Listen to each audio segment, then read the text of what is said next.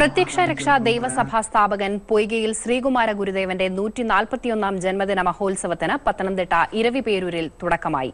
ഏഴു ദിവസം നീണ്ടു നിൽക്കുന്ന ആഘോഷ പരിപാടികളാണ് ഒരുക്കിയിരിക്കുന്നത്. ഇരവിപേരൂരിലെ പ്രത്യക്ഷ രക്ഷാ ദൈവസഭാ ആസ്ഥാനത്ത് നടന്ന കൊടിയേറ്റോടെയാണ് ജന്മദിന മഹോത്സവത്തിന് തുടക്കമായത്. P R D S president Y Sadasivan കൊടിയുയർത്തി. തുടർന്ന് അടിമ സ്മാരക സ്തംഭത്തിൽ പുഷ്പാർച്ചന നടന്നു. സംഘടനയുടെ സ്ഥാപകാചാര്യൻ പൊയ്കിയിൽ ശ്രീകുമാര ഗുരുവിന്റെ ജന്മദിനത്തോട് അനുബന്ധിച്ച് വിപുലമായ പരിപാടികളാണ് ഒരുക്കിയിരിക്കുന്നത്. ജന്മദിന സമ്മേളനമുണ്ട്.